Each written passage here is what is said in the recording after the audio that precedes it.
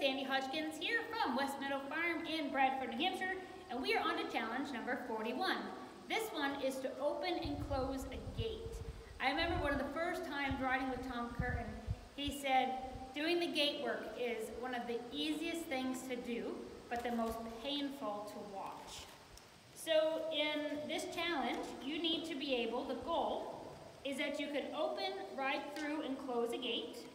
And the benefits, this challenge helps you to become handy as a rider and your horse gain confidence through small spaces. It helps with yielding, sideways, and partnership from you and your horse. It's also mighty convenient to not have to dismount every time you go through a gate. All right, so there's a couple common mistakes. I want to interrupt that behavior. All right, not waiting for relaxation. Some horses can get pretty emotional when it comes to opening a gate. Being naturally claustrophobic, they are presented with lots of squeezes in this challenge. So you want to make sure that the gate doesn't become the place of pressure. If your horse is having an issue with it, you can go do something else and then come back to the gate and make sure you rest. Don't add more pressure at the gate. And then another common mistake is your horse taking over. So pretty soon your horse will know the pattern and then they'll just kind of go through the maneuver, which is really good for competition, but you want to make sure that you're able to, um, Dave Ellis calls it wait for orders from headquarters. So you're going to set them up and then wait and then allow it to happen. Okay. I actually did um, a chapter in one of Linda's new books all about opening and closing a gate. And there's actually eight different ways that you can go through a gate. So it depends on if you're going forwards or backwards, right-handed, left-handed, and if you're pushing the gate away from you or towards you. For me, on a new horse, I like to push the gate away from me. And then it creates kind of an open space for the horse to go through. And then also, if they panic, because the gate's open, it's not going to get locked on their hips. Where if you pull it towards yourself and they get go through the gate and they get panicked, they can pull the gate into themselves. So for the first time, I like to push it away. All right, so we're to set this book down. Okay, so this gate here, for ease, ease-wise, we're to go up. It'll be a right hand. And Joe Wolter had a really good tip. He says, when you go to the gate, don't ride to the latch. Ride to the hinges so that when you turn and you get to the latch, then you're straight to the gate, or you know, sideways to the gate. So we're going to ride to the hinges.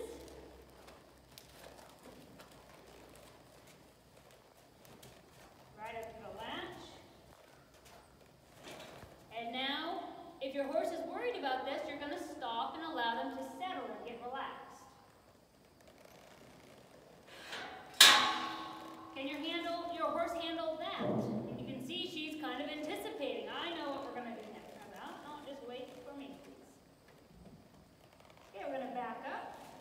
I'm going to create a space, go through the space, turn, and sideways to close the gate.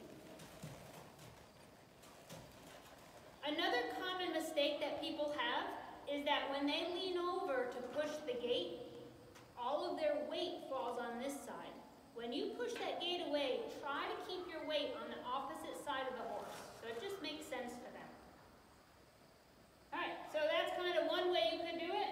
Here's another way. We'll just see how she feels about this. So now I'm going to bring the gate towards me.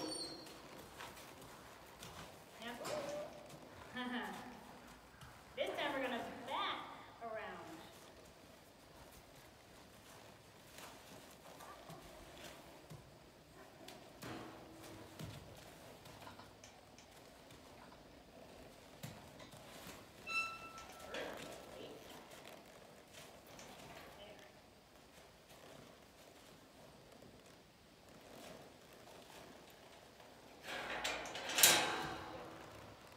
Now, another helpful tip that Joe Wolter mentioned is when you're done with the gate, instead of walking forward, you're going to back and turn the opposite direction. So we're going to back, turn, and then walk. All right. So I'm gonna grab Rocky, and we're gonna do the gate with Rocky. And he will have probably, I'm guessing, a little bit more fear issue, and so we'll kind of slow down and we'll address the things that show up with him. All right, so we're gonna do the gate with Rocky, and I can show you, you know, we've done the gate with him before. It's not real quick, um, but if we, he, if we run into something that makes him a little unsure, then, then we'll address it. I really want it to be his idea to go up to the gate. So we'll just kind of see what happens. I'm to ask for some forwardness, and then he gets a big sign of comfort. I'm riding to the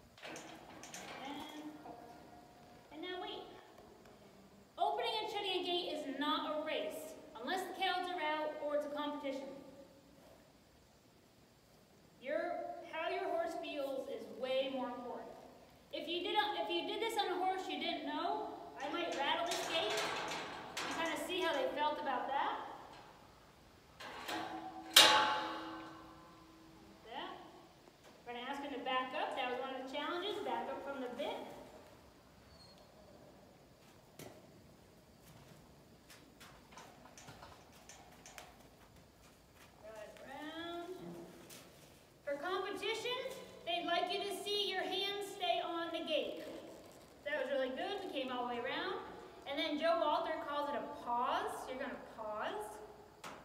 And now my left leg comes on a little bit, and I'm opening my right leg. My weight is still to the left side of my body. That's pretty good. A little bit more hind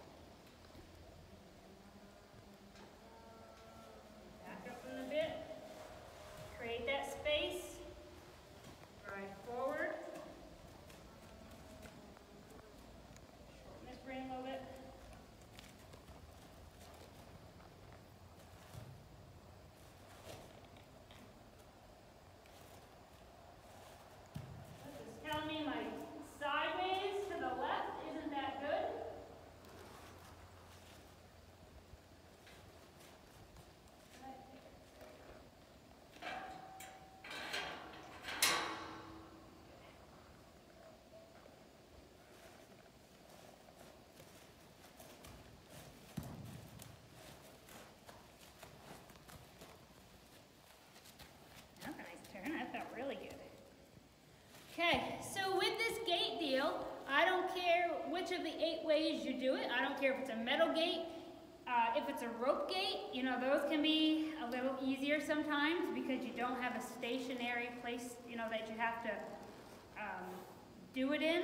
But sometimes horses are worried about electric fences, so the gate makes it harder.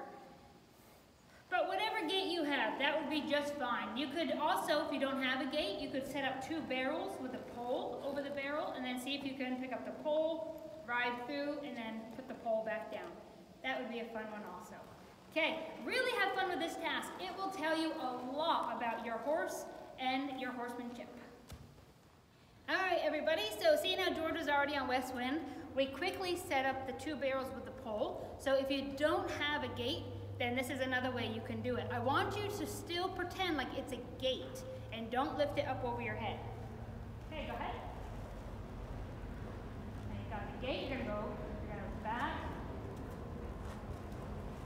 Oh, not over your head. Turn it away from you. Push it away.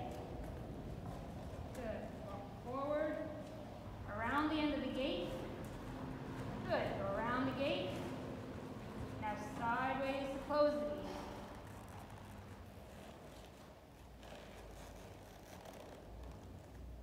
gate. Very good. Very good. All right, so some kind of fun you can play with.